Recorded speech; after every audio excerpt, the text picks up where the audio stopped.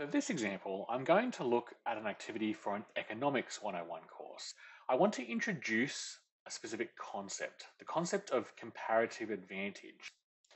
To do that, one of the activity design patterns that we have is one called Introduce a Concept. So I'll get it going and then I'll explain a bit more about it. So the pattern is this one here, Introduce a Concept. The concept that I wanted to teach is comparative advantage. And then I give it a general topic area, international economics. Uh, and with the learning outcomes that have been installed into the course, the international economics one is one of the ones here. So I'll select that and I'll get that going. Um, okay, so the basis for the introduce a concept activity design pattern is that when you want to introduce a new concept to students, particularly if it's a somewhat abstract or complex concept, you want to give a concrete example. So this activity pattern gets learners to explore several concrete examples and then try to step back and infer something about the general concept. So here's the structured activity that it has come up with. So it's given a very brief introduction to what the concept is, comparative advantage. And then each student is assigned a random situation. And they're asked to think about how comparative advantage applies in that situation. So they'll do that here uh, and then submit posts and then, and then they'll come up down here.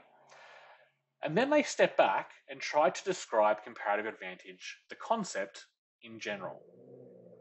And as before, by design, it hasn't really provided an overload of content here. It's focused on the pattern of the learning experience. But maybe in this case, this introduction to the concept isn't enough. It's not enough for the students to go on in the activity maybe. I could of course manually add some more of my own content, but let's use one of the content templates. So in this case, I'm going to use the case study content template. So I'm going to bring in the case study just beneath where it is given a very short introduction to the concept. And so I will go inside the text widget and go to the case study content template. So what topic is the case study on? Same as the activity, so comparative advantage. Um, I will go ahead and select the relevant learning outcome, international economics, save that, and then I'll get that going. So the case study template, like the name suggests, explores a case study. You give it a topic, if you want, you can give it a specific scenario to explore if you have one in mind.